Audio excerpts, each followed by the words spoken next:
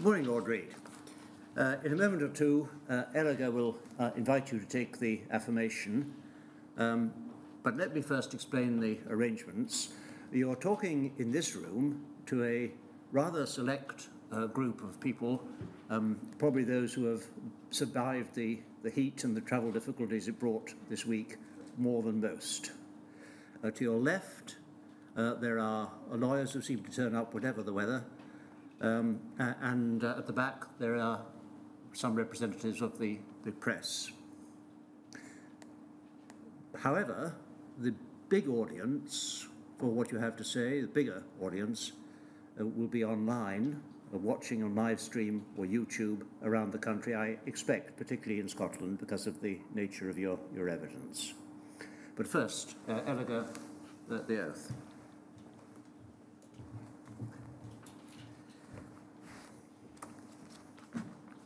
Please state your full name. John Reid. and repeat after me. I do solemnly, sincerely, I do solemnly, sincerely, and truly declare and affirm. And truly declare and affirm. That the evidence I shall give. That the evidence I shall give. Shall be the truth, shall be the truth, the whole truth, the whole truth, and nothing but the truth. and nothing but the truth. Lord Reid, I'm, Could- I'm sorry. Sorry, could I have a little more volume on the uh, speakers? Thank you. Ms Richards. Um, Lord Reid, I'm going to start with an overview of your political Just, career. just let me stop you there. Is that all right? Yes, a little more would be helpful. I'm getting old. Well, we- we'll see what we, See how we, it goes. we, Yeah. we can do. Uh, if you take it a little more slowly than otherwise, m- might help. Okay, thank you. So you were first elected as an MP in 1987 Yes, and you remained an MP until 2010. correct. You didn't seek re-election in the 2010 general election, uh, but you, were, uh, you became a life peer in, in 2010. Correct.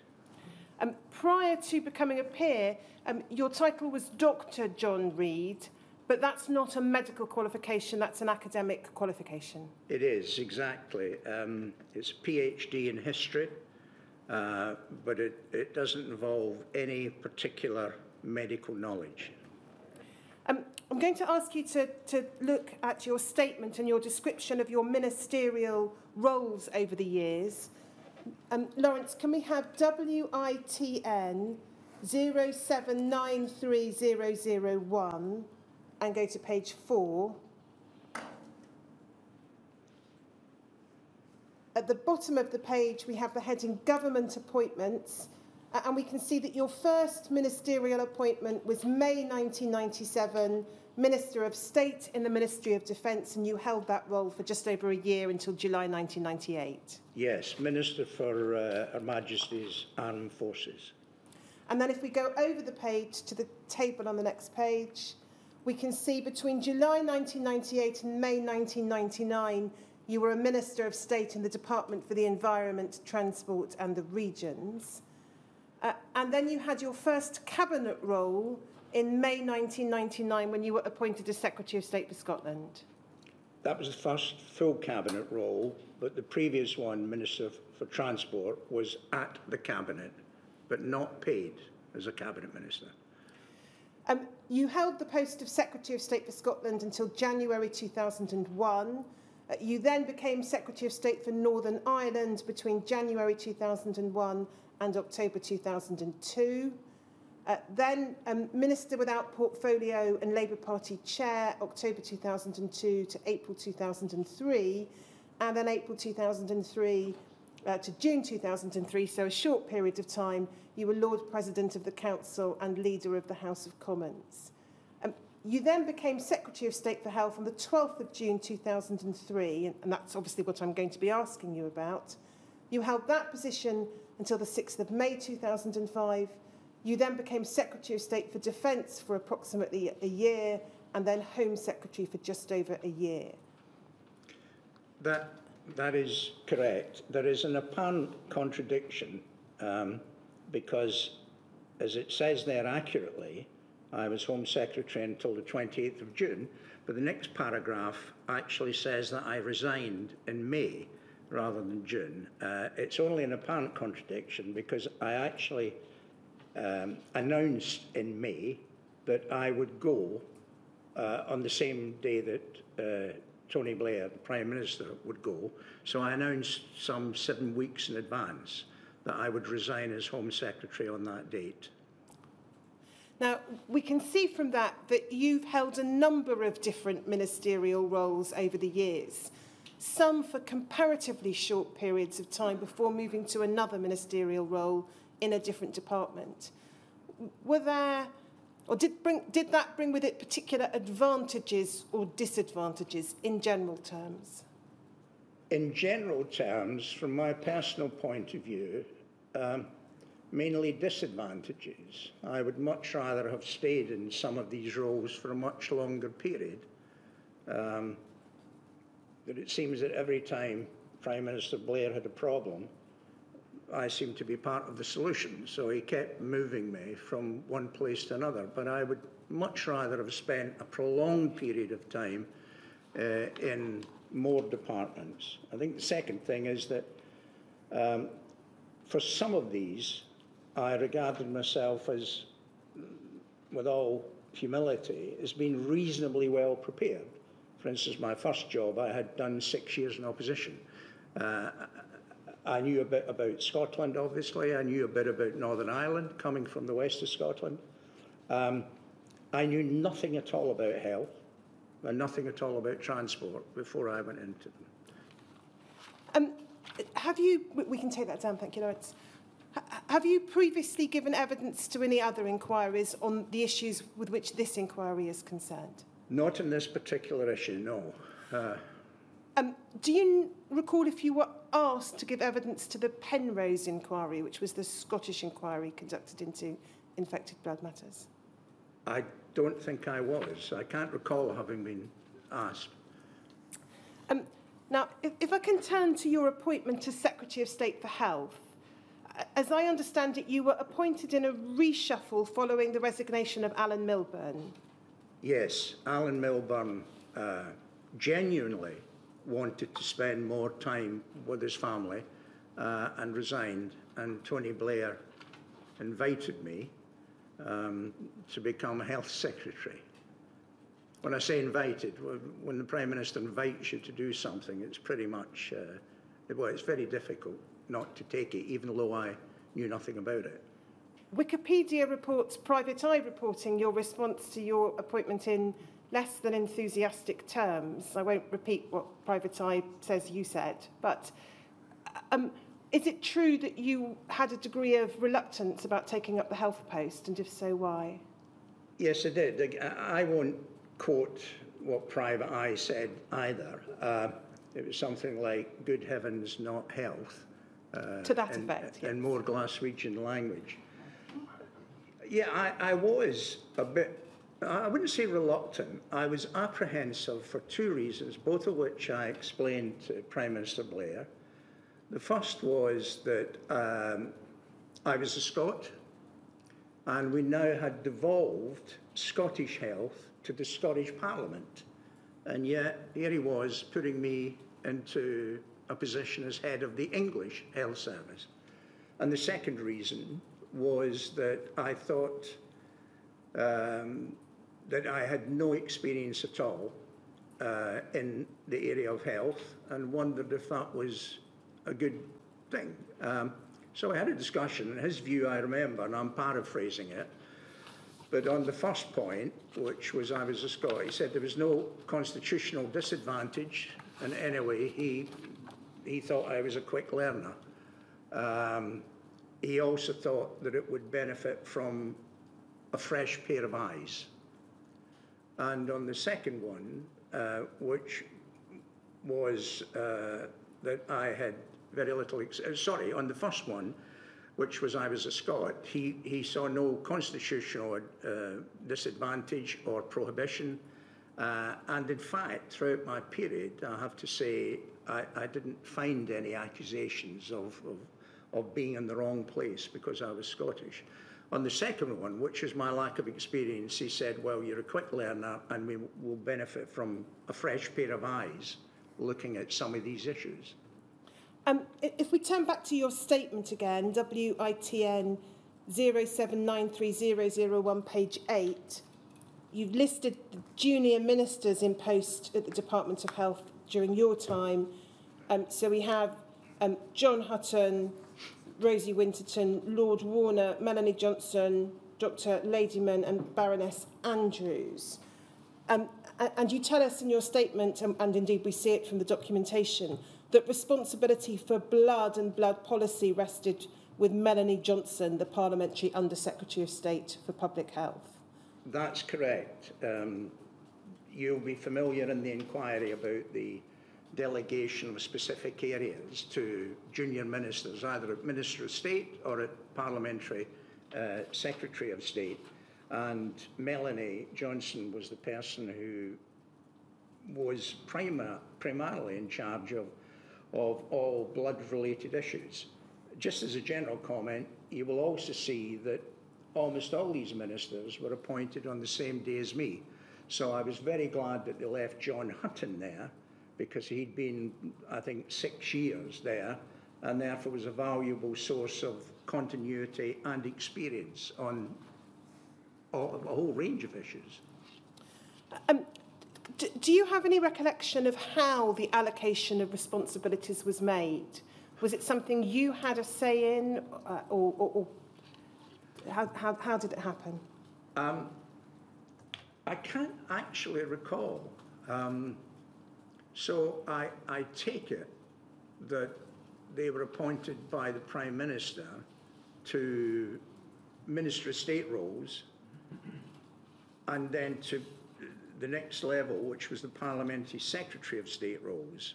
And the portfolio tended to follow the, uh, the rank of the minister. Uh, I can't remember changing any of them. Um, in, in other jobs I did, I remember in, in, the, in the Home Office, I, within a fortnight, I changed the role of two ministers of state because I thought they were particularly well qualified for the other area and, and shifted them across. But I can't remember doing it here, so I, I take it that Norman Warner was obviously in the House of Lords, so automatically he became the minister in the House of Lords. John was John Hutton was the senior uh, of the two ministers of state, so he obviously had the larger, most important portfolio, and in a sort of sense was deputy to me, uh, although not formally in, in practice.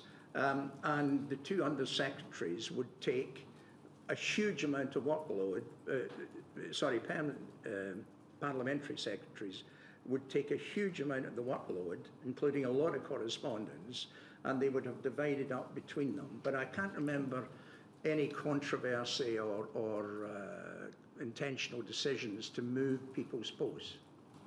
Now, in your statement, um, you've also described a range of challenges facing the NHS, matters that you had to deal with. I'm not proposing to go through them, but you explain in your statement that you could not be involved in all the work of the Department of Health, and but you would expect to be consulted on major policy issues or matters of political prominence. Yes, um, I think in this, as in other departments, I would delegate um, specific areas and responsibilities to, to my ministers. I would assume that uh, they were self-starters, that they were competent and capable until proven otherwise. Uh, I would let them get on with that job as far as possible. But if there was a major political issue, then that would either come directly to me or I expect them to refer it to me. If there was a matter of huge controversy, a train coming up the tunnel, I would expect them to uh, let me know that they had a significant problem. Uh, and if there was anything about which they wanted guidance, then they could come and see me. Other than that, then you would devolve the responsibilities to the junior ministers. And so we can take that down, Lawrence. If there were going to be um, issues of expenditure, so additional expenditure, approaches were going to have to be made to the Treasury. Again, I'm talking in general terms, we'll look at specifics later this morning. Would that too be something you'd expect to come to you as Secretary of State? if it was a significant amount, yes. I mean, the relationships between government departments would be continual at the level of officials. There would always be discussions going on. Um, it's just in the nature of government. Um, if it was a relatively small amount, then it wouldn't necessarily come to the Secretary of State. But if it was a significant increase in expenditure that was different from that had been agreed and planned in the budget, particularly if it required uh, seeking permission from the Treasury or extra money from the Treasury, yeah, that would come up to at least John Hutton and very probably to me as Secretary of State. Um, in, in terms of interactions with ministers in your department, uh, did you have uh, regular meetings, weekly or, or, or, or however it might be, or was it more ad hoc? Um, do you know, for, for the life of me, I can't remember what exactly the arrangements were in the, in the Department of Health, and, and for, for very good reasons, I haven't been able to discuss it with any of my colleagues, so they haven't been able to remind me. Uh, that's the rules of the inquiry, which I fully accept. Um, I think, and it's my recollection, that we would meet as a group about once a month and we would uh, also meet individually with ministers about once a month. And then on specific areas, um, for instance, before health questions, uh, which is once a month, we would, we would meet, or if there was a particular um, topic of extraordinary importance, we would meet as a group. That's my recollection, but to, to be quite truthful, I, I can't say that I, I fully recollect the nature of, or the regularity of our meetings. Um, and, and, and leaving aside the, um, how often you had meetings um, with your officials, did you have a system of regular interaction with the, um, with the permanent secretary? Yes, um, but in addition to that, if the permanent secretary had particular problems, then he would speak to me. But on, but on big ticket issues, like, can I give you an example? Yes, of course. Um, I mean, one of the great problems we faced back then was that we regarded the number of people on the waiting list and the, the length of time they had to wait uh, is far too great. I mean, it looks it looks very small now. We were talking about a million people. At present, there's six and a half million on the waiting list, but we regarded that as a pretty scandalous number, and we wanted to reduce it by half over five years. Secondly, the waiting time for elective operations was a maximum of three years, which meant hundreds of thousands, millions of people were waiting up to three years in pain, in fear, in anxiety, and therefore I decided that I would uh, reduce the maximum waiting time over a period of four years to 12 weeks. And that was enough to bring a, whole tranche of top people to my desk, uh, including the permanent secretary. He had to be there. And there was initially considerable resistance to the idea that it was possible. Um, until I explained that if they didn't do it, then um, I would buy, I think it was 7 million operations from the private sector and give them free to people in the NHS because that was, you know, their NHS. Um, and after that, the permanent secretary, I think, encouraged the other directors to find a solution to the problem that had appeared uh, unattainable. And they came back eventually and said, we can't do 12, but we could do 18 weeks. And I said, fine, uh, we'll accept that as a compromise. And actually, over a period of four years, we did.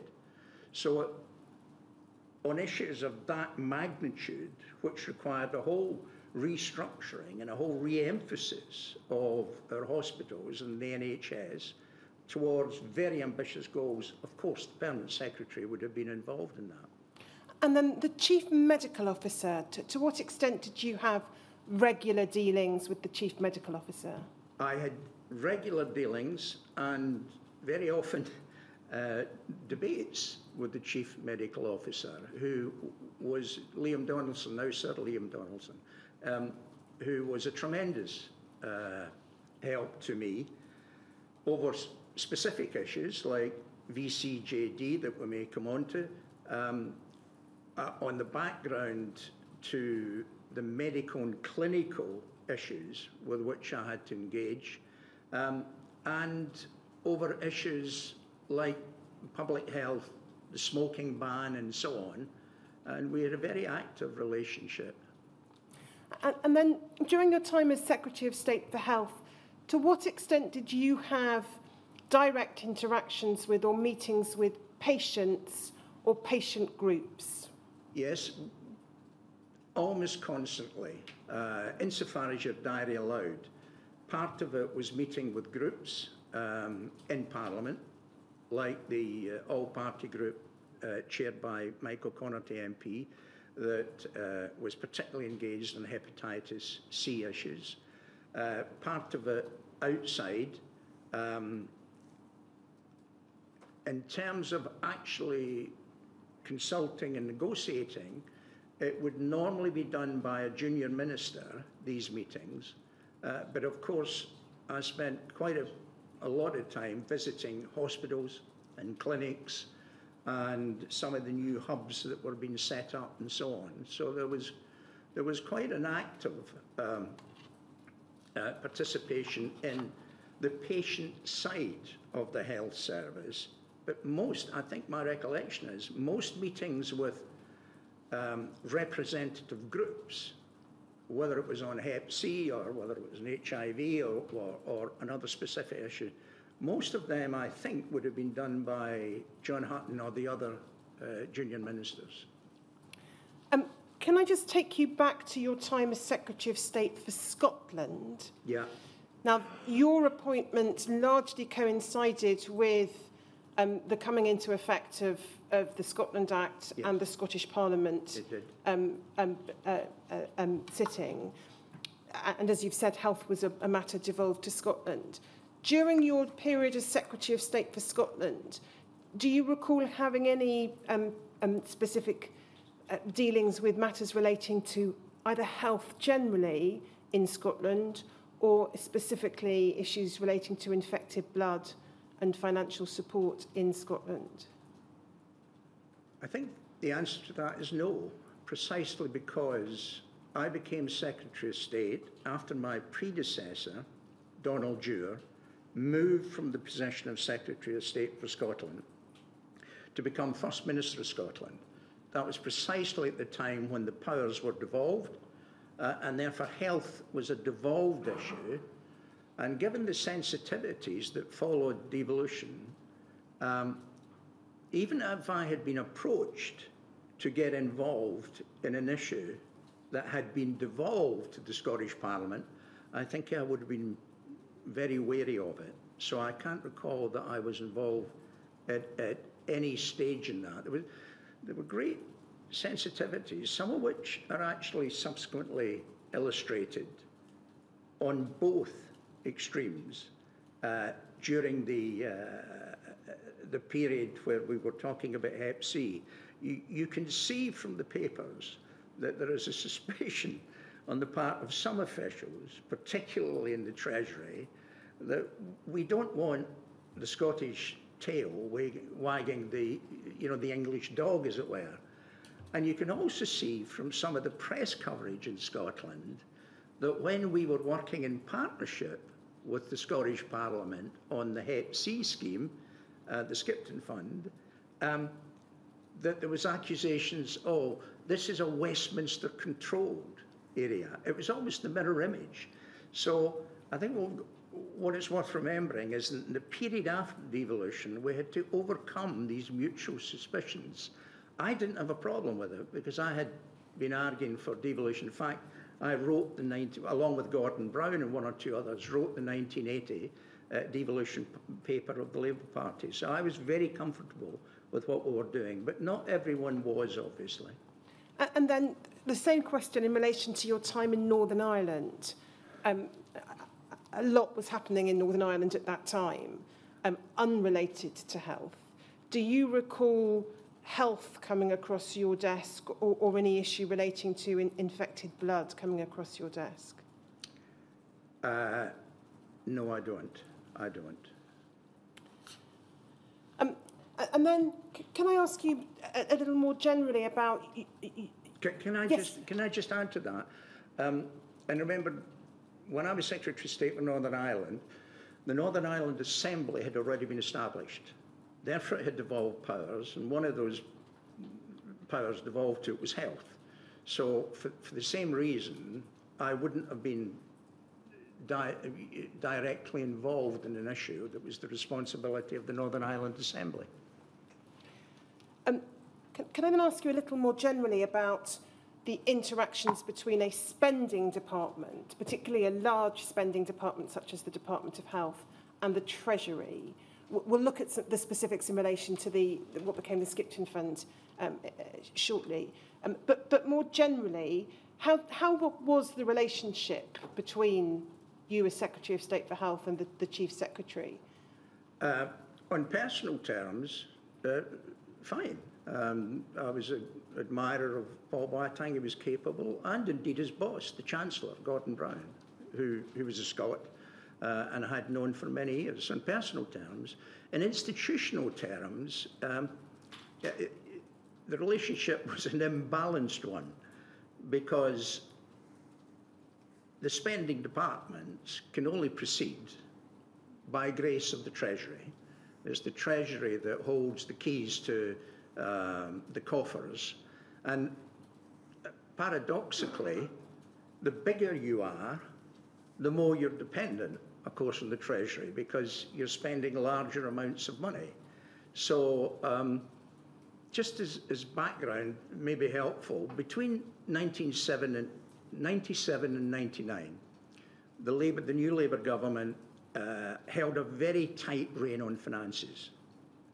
From about 2000, it released it a bit, and that was a period when a great deal of money was put into public services, including uh, the Department of Health.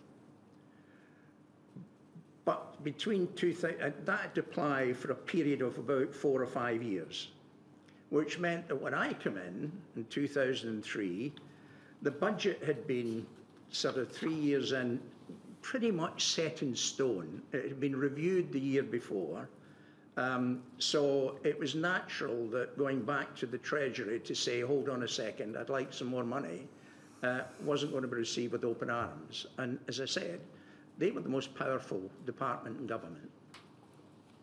Now, I'm going to turn to the issue of financial support for those infected with hepatitis C from blood and blood products.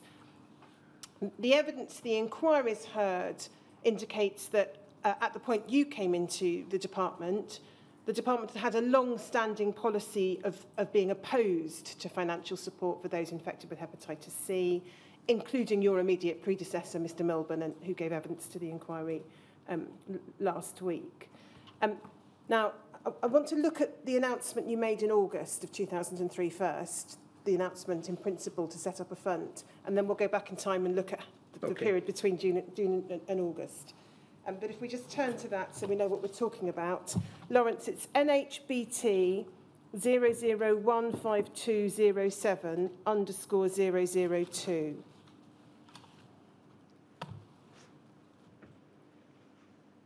Um, so th- this is the press release, um, 29th of August 2003, and it records your announcement of the establishment of a financial assistance scheme for people infected with hepatitis C as a result of being given blood products by the NHS.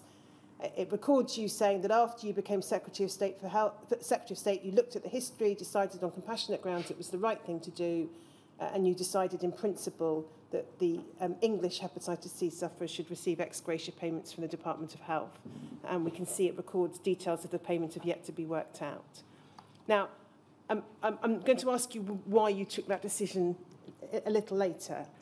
Uh, um, what I want to understand is, is why was it, that, what, how did this become a decision or an issue that you took charge of, bearing in mind all the responsibilities that you had as Secretary of State for Health. This is something that came across your desk pretty early on. How did it come to be something that you had a personal direct involvement in? Um, I'm afraid I have to jump back a bit. Yes, absolutely. I, I mean, I came in, I think, around the 12th or 13th of June. Uh, unknown to me, uh, the Scottish First Minister, Jack McConnell, who I knew well, um, and uh, because actually I knew Jack from university, he was a bit younger than me, but so I knew him all through the, the Labour Party, and Malcolm Chisholm, who was the Scottish Health Minister, who I also knew well because Malcolm had been a member of Parliament before he went became a member of the Scottish Parliament. He was an MP and he was a colleague of mine. Uh, apparently, um, they had indicated that they wanted to speak to the new Secretary of State. And this, from the documents that you were kind enough to send me, several thousand of them, um, this caused a frisson, I think, of, of excitement among officials. Uh, I didn't know this at the time, but I'm reading the documents that you've sent me um, because it, they thought, oh, they, they want to speak to the Secretary of State about hepatitis C financial assistance, which up to that point, as you said, the department had said constantly, no, we're not going to pay it. Um, as a result of that, um, a few days after I came in, there was submissions put to me, and I can't recollect whether there was meetings, but there would have been with officials saying uh, the First Minister and, and the Health Minister of Scotland wish to speak to you. Um, it's about hepatitis C payments, and uh, basically, here is our position, and our position is that the, there's no fault, therefore there's no compensation. Um, and that's how the issue arose, and that's why it would have been at my level it arose because of a request from from the Scottish First Minister and the uh, and the, the Scottish Health Minister. And, and just to pick it up from the documents for the benefits of those um, watching and listening, if we have DHSC 5541406,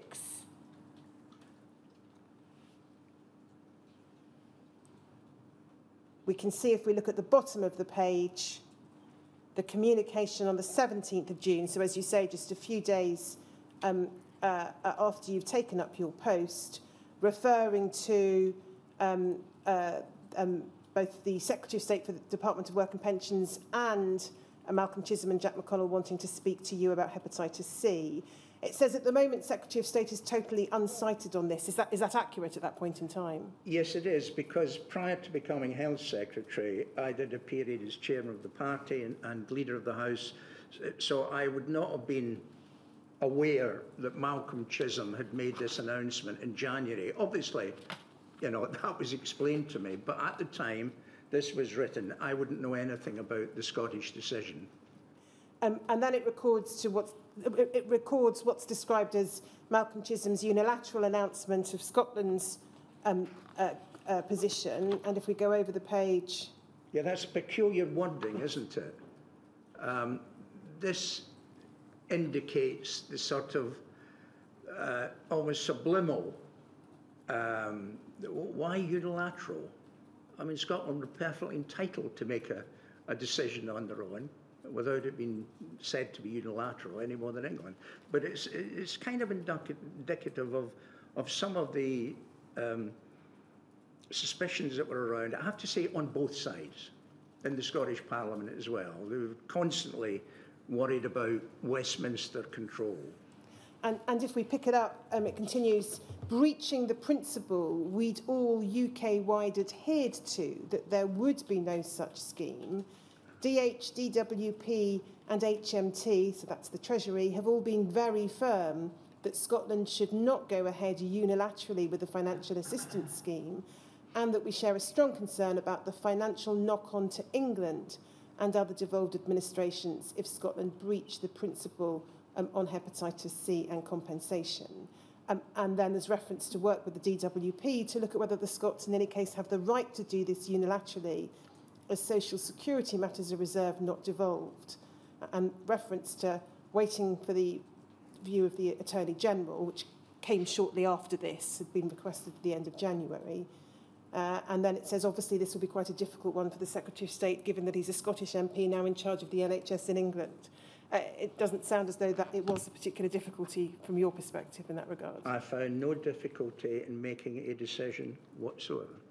Um, but in, terms of what's set out in the, in the rest of that paragraph, d- d- does that reflect, again, the tensions you've been talking about? This sense of what might be said to be almost indignation that Scotland are doing something where uh, um, there'd been a shared understanding that I it, think, I think that's part of it, but the other, the other element of it is um, we have a historic line on this. You know, it, and the problem is that this is challenging that line. And, you know, that, that's kind of uncomfortable for people. Sometimes necessary, but it's uncomfortable. Um, if we look at WITN 0793002,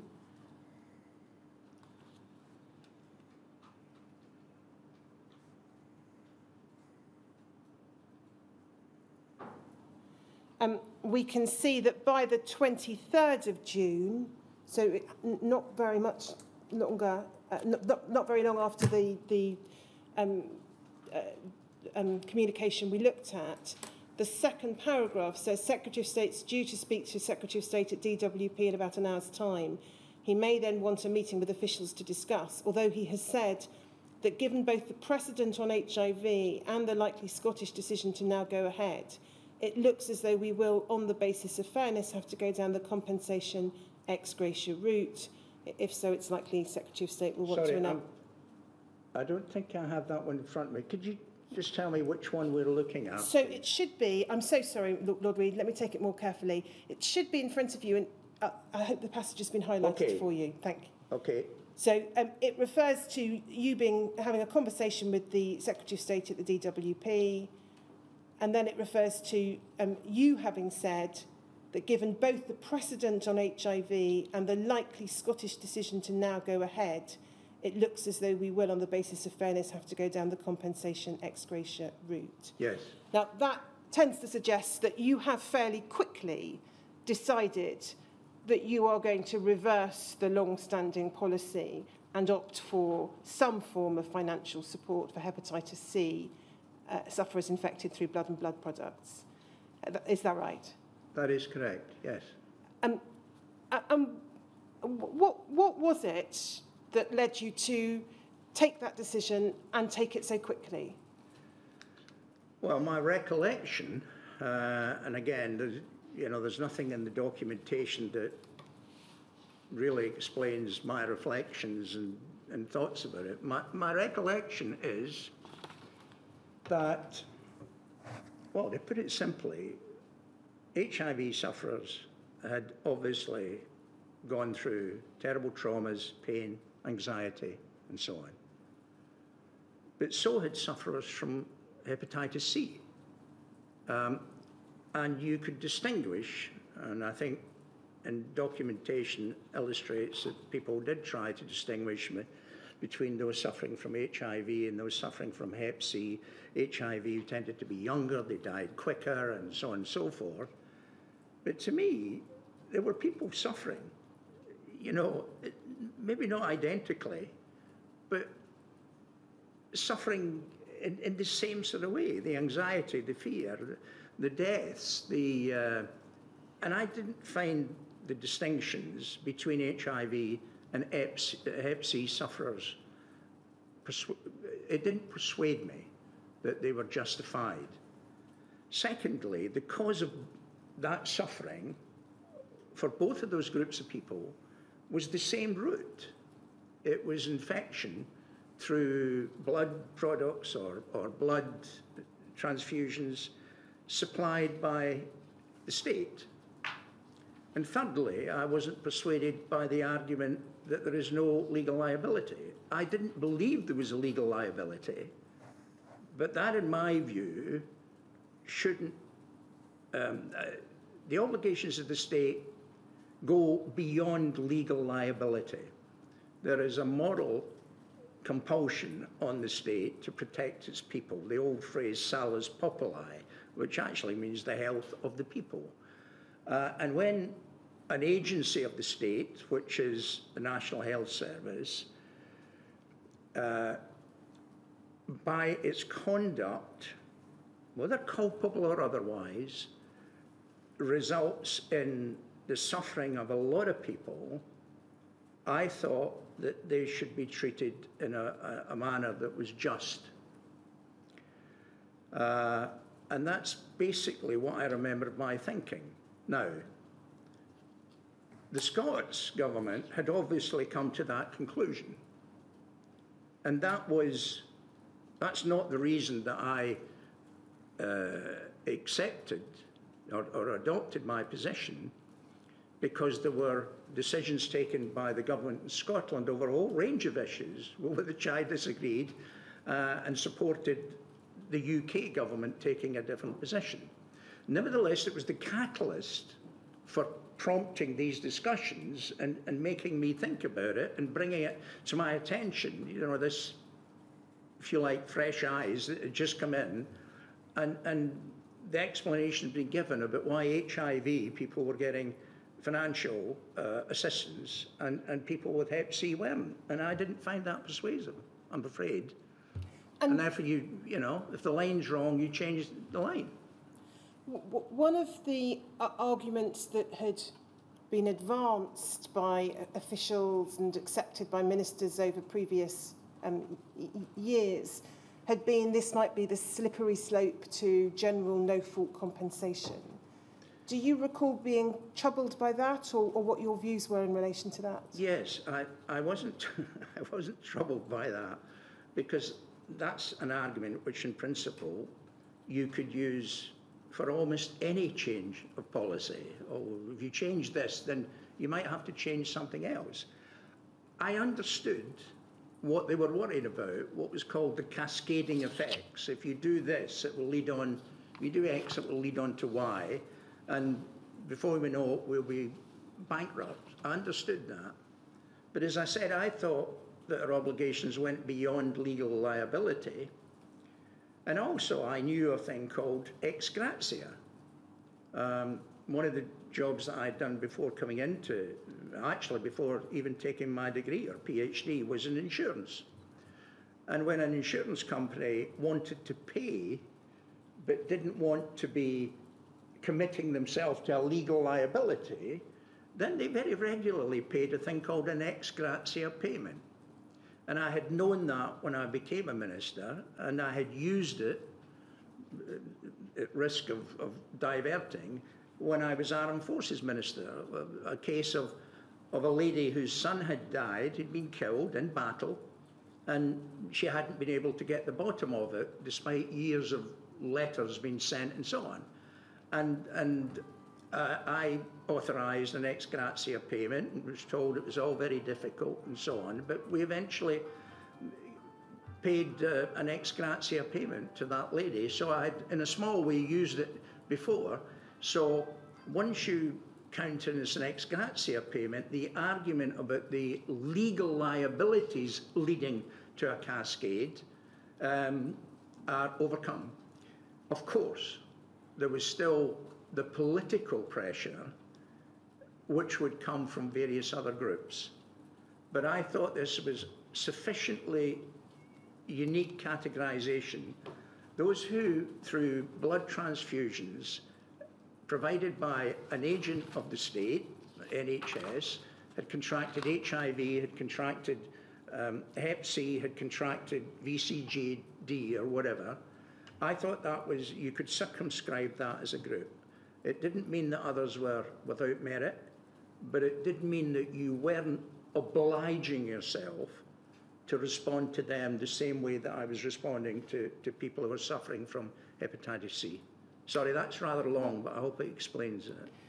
Now, the, um, the note that you'd received prior to taking your decision from officials had said the officials saw no justification for changing the long-standing policy. I don't propose to put it up on screen, but the reference um, for, for the record is, let's find it, um, DHSC 5320518. Um, you having taken a different decision, did, did you encounter any resistance from officials? Did anyone try and talk you out of it or express a degree of concern at, at, at your change of direction? Neither on this issue or any other issue in the Department of Health. In fact, I would go so far as to say I had nine posts, as you pointed out at the beginning. And throughout it, of course, any large organisation has individuals who have their own views. But I found the civil service uh, perfectly willing to uh, follow a change of line. That was legal. That's legal. Um, I mean, it is the job of the civil service to point out to leaders like me the consequentials of what they're doing. They would be irresponsible and not uh, doing what they ought to be doing if they weren't saying, well, very well, Secretary of State, but have you thought of this? Now, I don't regard that as resistance. That's part of a dialogue and a debate.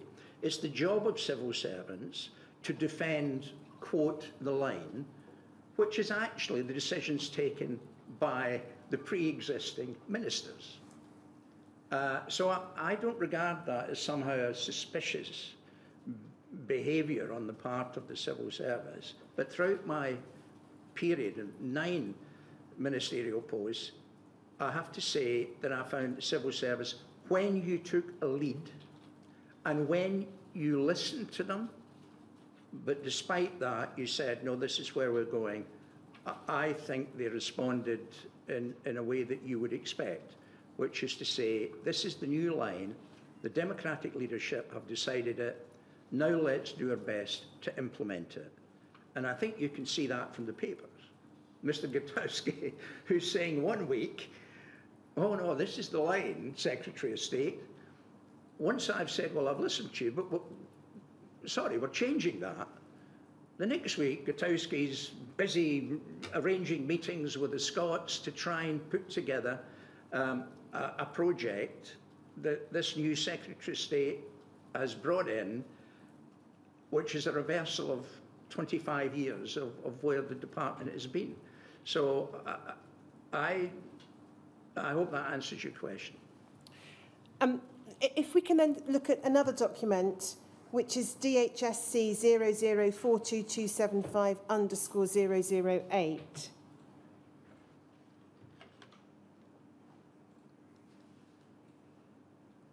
This is the 23rd of June it records in the um, first paragraph of the email that you have spoken to Andrew Smith, who was the Secretary of State, Department of Work and Pensions, and it refers to the legal advice that this wasn't a social security issue. And just so that, again, so that those listening can follow, that, as I understand it, is a reflection of the advice received from through the law officers' advice um, uh, that it wasn't social security, it was health, Therefore, it was a devolved, not reserved matter, and Yeah. Scotland had the power to, to, to go it alone if they wanted to. Yeah, and from a purely budgeting point of view, this was probably, um, this legal advice was probably a great relief to Andrew Smith, because it meant whatever happened, his department would not be asked to foot a bill.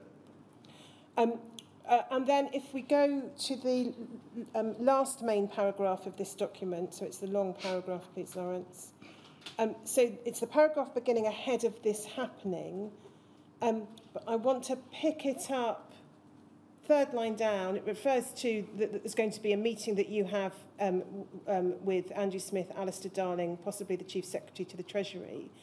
And then it says, for that meeting, Secretary of State will need further advice on where we think the Scottish Executive are at with their scheme, slash how quickly they could make an announcement the financial implications of the various scheme options, I think following the Scottish Health Executive recommendations in full would cost around 400 million a year compared to around 200 million for the lesser scheme I think Scotland is considering.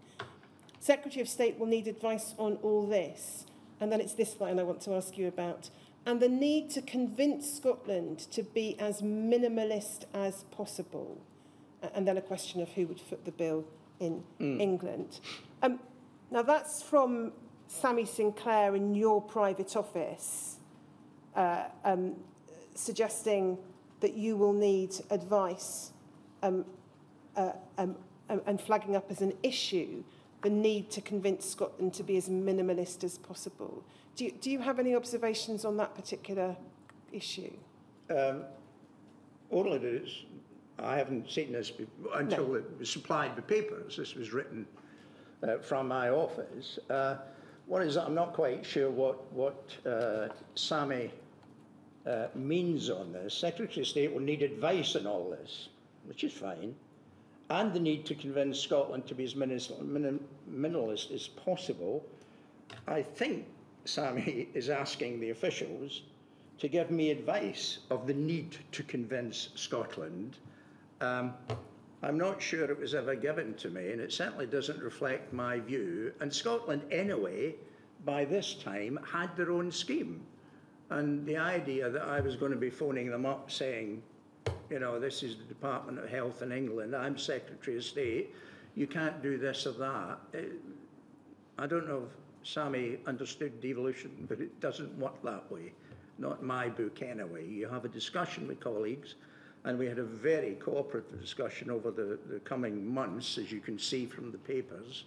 Uh, and basically, we accepted, for reasons of speed, because it was, you know, 20 years overdue, to give financial compensation, reasons of coherence, that we thought that the same system should apply to everyone in the UK, simplicity, we basically accepted the Scottish scheme. Um, far less, you know, far from going to them and trying to convince them one way or the other. Because if we'd have brought in a scheme that was more generous than the Scots, well, we couldn't afford it anyway, but if had we done, it would have brought about a fracture of the cohesion of the United Kingdom. But I don't know, I mean, I can't recall.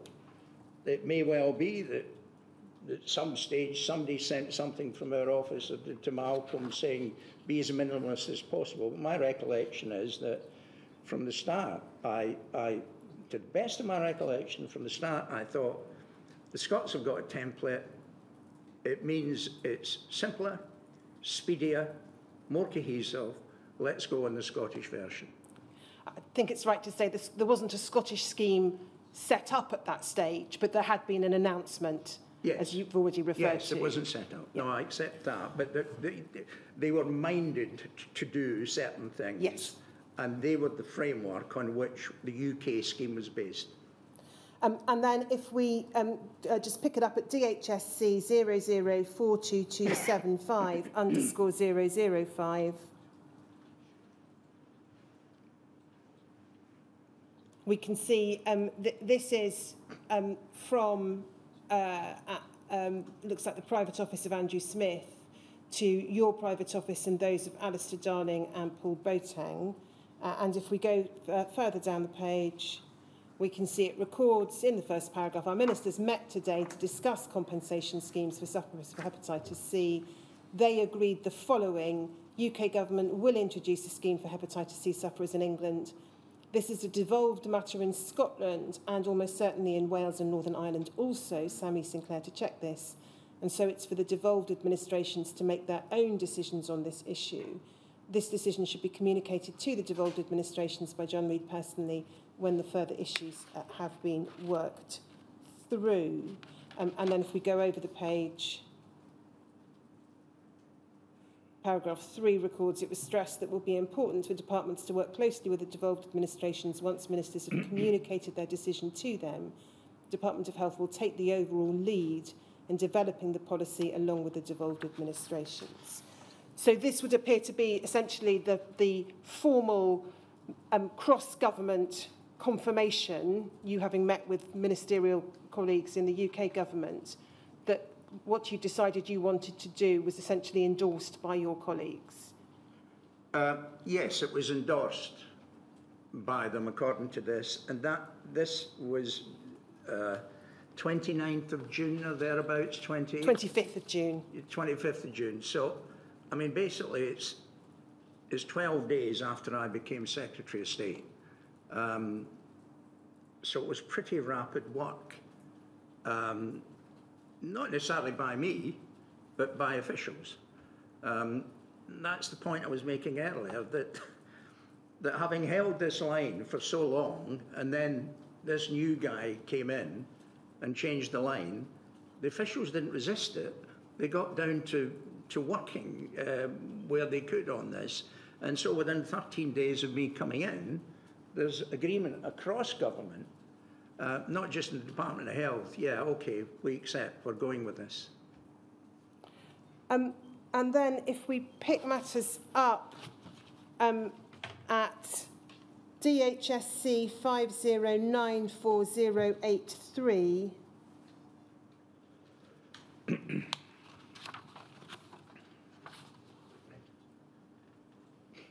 Um, this is Mr Gutowski to you and also to Mr Darling, Mr Smith and Mr Boateng, 1st of July.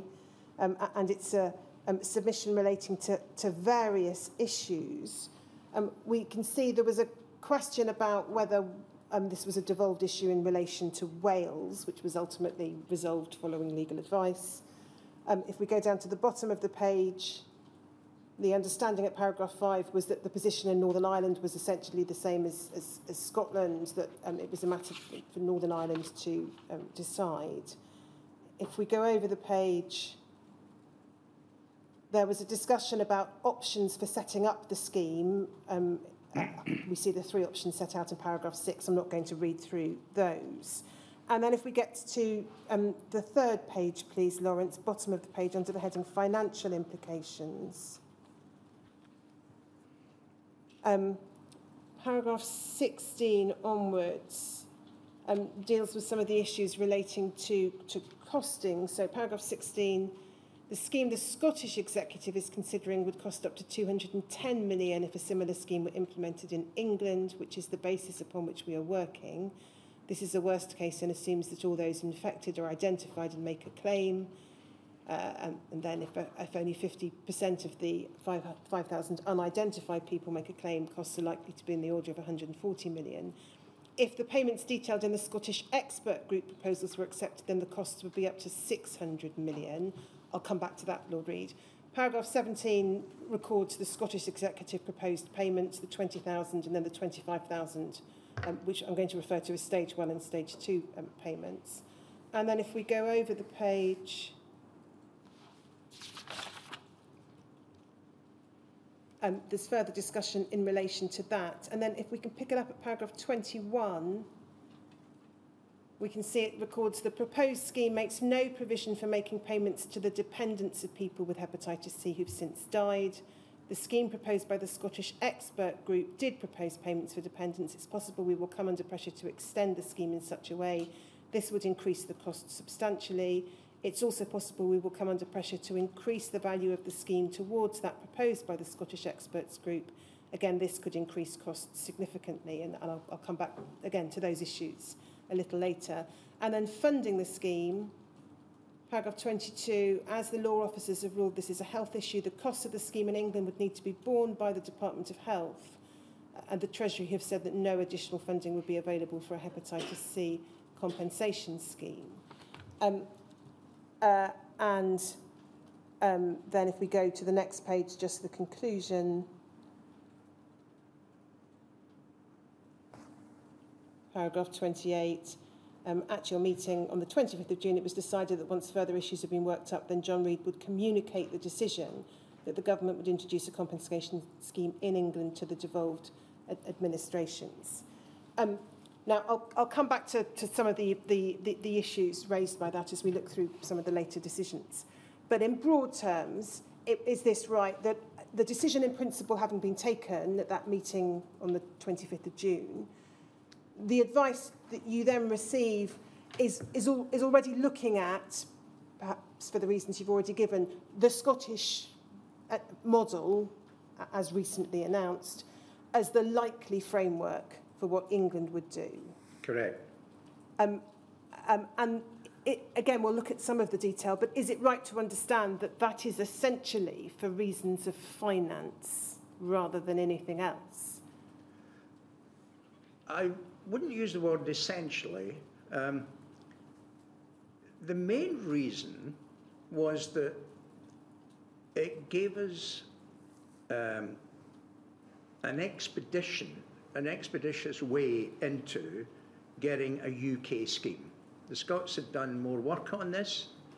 There had been no preparatory work done in, in the Department of Health in England for obvious reasons. The line for 20 years had been no, we're not paying it. Uh, so here was a, a, a ready-made scheme that had been set up. Uh, so it was a template. Secondly, it meant that you had the beginnings of a UK-wide scheme so that people in one area of the UK weren't receiving more or less than people in the other side. And thirdly, it could be done a lot more quickly. Um, I mean, when we look at the time scale on this, it seems very slow to, I understand that if you were suffering from um, hepatitis C, but to go from a standing start um, and achieve a scheme of this nature throughout the United Kingdom uh, with government departments agreeing and four nations coordinating to do that in a year um, is, is, is pretty quick in governments. Um, so it wasn't essentially a cost thing. Of course, cost comes into everything, and the scheme was unaffordable within our budget at 200 million, was more unaffordable at 400 million, and more un unaffordable at 600 million. But I was pretty certain we could get the 200 million. Uh, getting anything above that, tragically, at least in the short term, wasn't going to happen.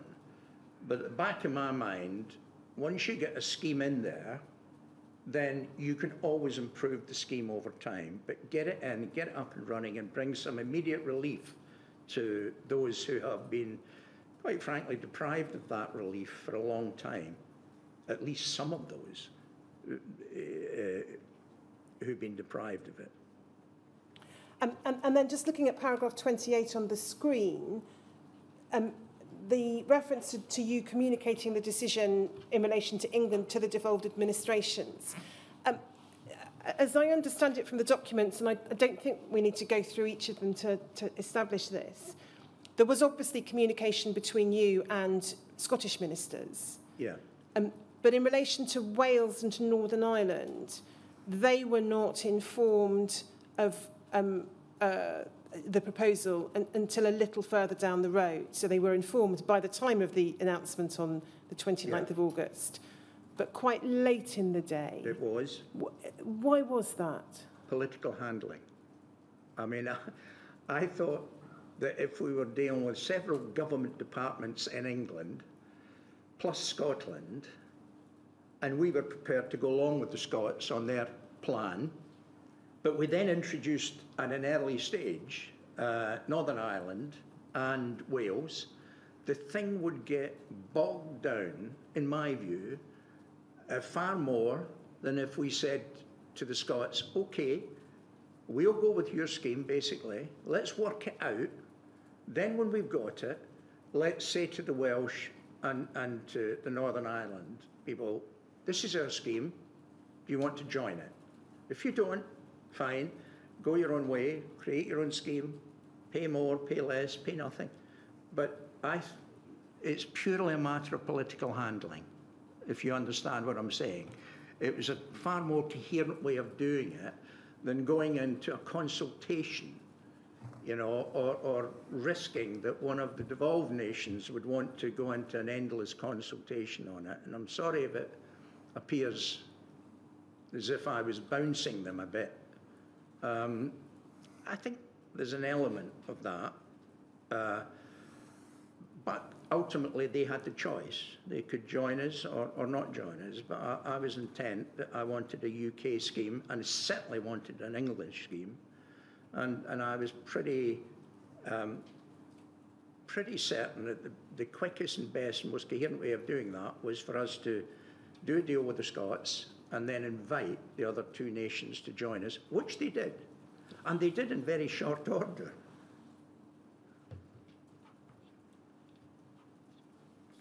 Um, if we just go back then to the press release announcement uh, at NHBT 001527 underscore 002.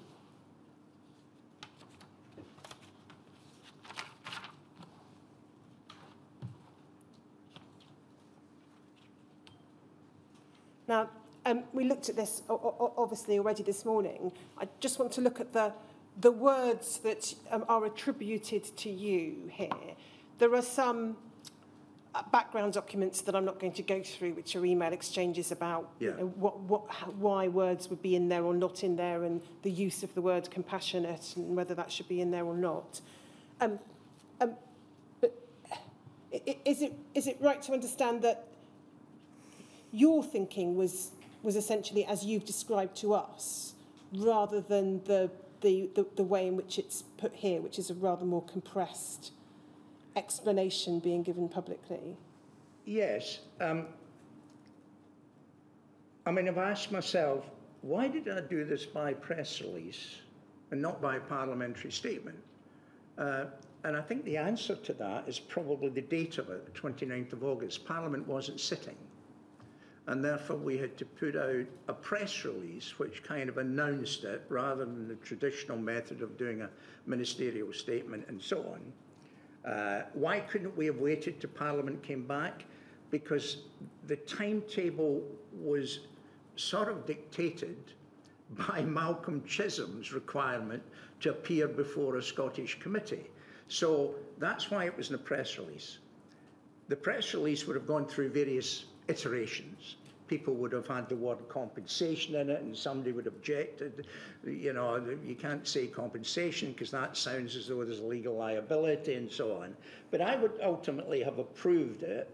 Um, and I mean, basically, I think it encapsulates in a few words the decision that we had taken. I don't think it's inaccurate. And I certainly would have approved this. Um, uh, and I think just in terms of the timing, Mr Chisholm was due to appear on the 9th of September before the Scottish Health Committee. He was due to appear on the 9th of September and he was under terrible pressure, which I understood, to come up with some form of announcement. Because remember, we had said, we want to join you in doing this, but we haven't got our ducks in a row, so can you hold on and, and not go, you know, the full extent to the committee meeting? But he's a politician who was going to be questioned the way you're questioning me today. So he had to have something to say to his committee. Um, and therefore, that committee, I think, was taking place on or around the 9th of September 2003. Um, but he, ha he had to get his preparatory work done. So we got this out just at the end of August. And, and um, I think he would have issued a, similar press release that day, as would Wales and, and Scotland.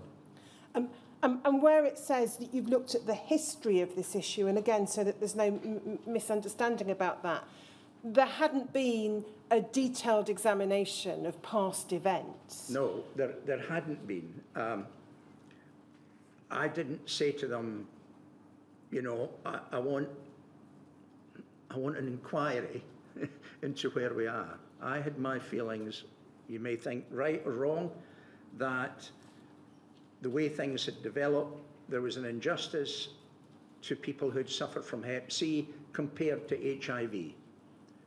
And therefore, I wanted to rectify that. And what the last thing really I wanted was, you know, an inquiry that would take years and stop a scheme being set up. I had made my mind. Now, that may have been wrong, but um, I was looking to the present and to the future and to the relief of suffering. Um, and I wasn't motivated by any desire to um, convince myself that this ought to be done. I knew it ought to be done. And then the, that last sentence of the press release, which says the details of the payments have yet to be worked out, which is correct. You had your idea as to what it was going to look like based upon um, the, the earlier announcements in, in, in Scotland. But the, the parameters of the scheme were yet to be d- determined.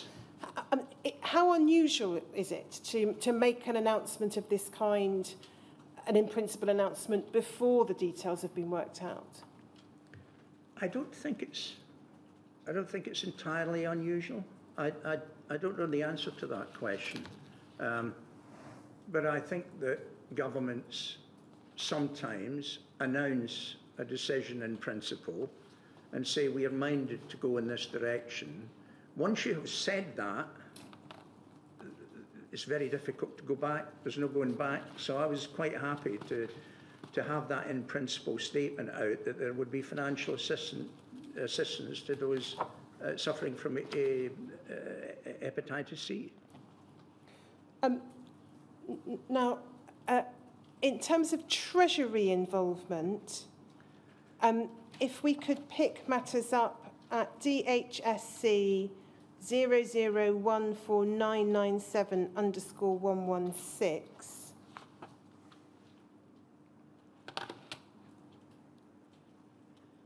This is a letter from the Chief Secretary um, to the Treasury, Paul Boateng, um, 27th of August 2003 to you.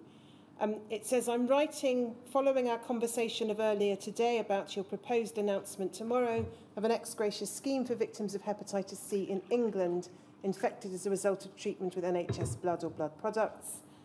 I have real reservations about this course of action, as I have made clear, but well understand the pressures upon the government in England and Wales to which you referred.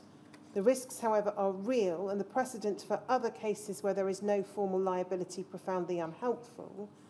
I am, however, reluctantly prepared to agree to you making an announcement tomorrow subject to the following conditions. Agree to meet the full costs of the scheme from your current settlement, and that you agree not to make a claim on the reserve to meet these costs or seeking additional funds to cover them in the forthcoming spending review. That you discuss your proposal with Wales and Northern Ireland, and on the assumption that policy responsibility is also devolved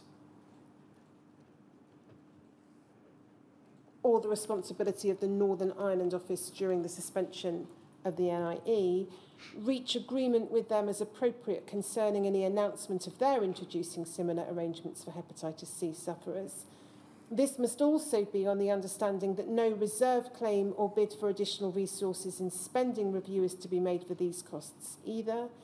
If in the case of Wales, legal advice subsequently confirms that the policy is reserved, and that there is therefore an issue about who should bear the costs, you must reach agreement with them as appropriate about how the costs are to be met, or failing that, agree to cover all such costs yourself.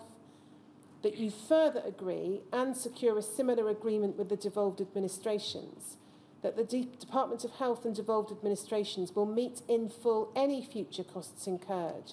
Should there be a legal obligation put in place, comparable payment arrangements arising from any compensation awarded as a direct result of the precedent set by the establishment of this scheme. In handling this announcement, it will be vital to minimise the risk of setting a damaging precedent for other areas. You will want, therefore, to make it clear that this is a unique case whose special characteristics justify the solution proposed. You will, I know, also wish to be proactive in your presentation strategy to ensure this message gets across. Um, now, first of all, uh, do you have any recollection of, of your discussions with Paul Boateng on this issue now? I don't have a detailed, uh, sorry, a recollection of, of detailed discussions with Paul, but I think this represents the view of the Treasury. Uh, well, it doesn't actually represent the initial view of the Treasury. The initial view of the Treasury, um, default position on everything is no. Um, but this is where they had got to. And if you, I don't think anyone reading that letter can be under any illusions that it, it, it, it was a tough fight to get there. I mean, not not personally or physically, but um, they had to be pushed. Um, why was it that Treasury agreement was required if you weren't putting in a bid for the reserves, you weren't going to be putting in any any um, uh, uh, bids in the forthcoming spending review. You were going to be allocate, allocating to the scheme funds from your existing budget. Why did the Treasury have to agree to that at all? Because A, it was an aberration from the budget that had been agreed the pre previous year, 2002, when the thing had been reviewed. And, and secondly, um, the, the idea that we wouldn't get money from the reserve or that we couldn't claim it was the outcome of our discussions. It wasn't my starting point. Uh, I mean, ideally, if I, I will stand corrected, but I think the HIVs initially money came from the reserve, which is a contingency fund. So it may well be, I can't re recollect, but it may well be I was saying we have to rectify this injustice and, and I hope that you will give us money from the reserve. It's obvious from this that he was saying, no way, Jose, there's no way you, you're going to get any money from us for the reserve. And incidentally, you can't claim for it um, out of next year's budget, uh, and you're going to have to accept the risk that this may lead to further uh, payments having been made, uh, and we ain't paying, we aren't paying any of that either. So it, it, you can see the nature of this. So the starting point, from our point of view, wasn't that uh, this couldn't come from the reserve or we couldn't claim for it. This was their conditions upon us, which is what made it so difficult for us to find the money from inside the existing budget. Uh, as a matter of fact, you did ultimately find the money from we the did. existing budget. We did. Uh, it, it's a rather complicated issue, but I think the initial view, I can't recollect this at all. It's too detailed for me, and I'm not a finance expert.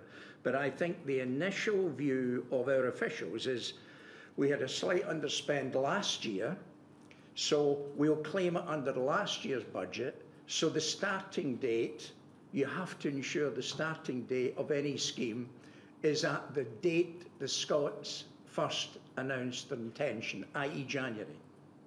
As it happened, that cunning plan was thwarted because Malcolm announced his scheme on the 9th of September meeting uh, that the scheme would commence from the date on which we made the press announcement, 29th of August. So January would have put it into last year's budget, but the 29th of August put it into this year's budget. So they couldn't resolve the problem by into last year's. And the Treasurer was saying, no way you can claim it uh, from the reserve, no way you can claim it in this year's, and indeed, no, no way you're going to be able to claim it next year.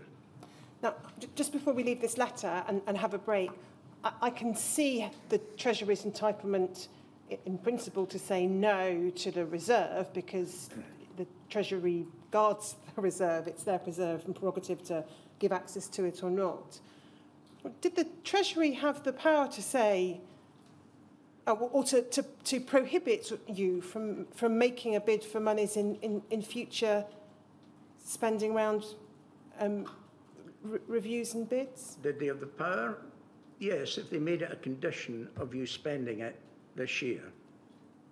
That's, you know, pretty tough letter, this, isn't it? It's not a love letter. It's, it's I mean, you can see from the words in it, um, just going back to them, real reservations, uh, risks, formal liability, profoundly unhelpful, and, and it goes on like that throughout it. So it, it's not what you'd call an ex gratia letter, which is saying, oh, yes, we're with you in this. It's, we think you're taking risks, we don't think you should do it. And then they get on to the implications of, of uh, you know, what does this mean uh, if Scotland are taking initiative and we are following them? In my view, quite simply, is if the Scots are doing the right thing, we should do the same thing. Um, so I note the time, perhaps uh, the right moment for the morning break. Uh, yes. Well, we'll, we'll take a, a, a break uh, now until 10 to 12. Um, now, Lord Reid, you're giving evidence, you're, uh, you're giving evidence under oath. Uh, you must not discuss with anyone, whoever that anyone is, anything which you have already been asked about in evidence or anything which you think you may yet be asked about in evidence. Understood? But you can talk about anything else you like. Oh, thank you. Thank you very much.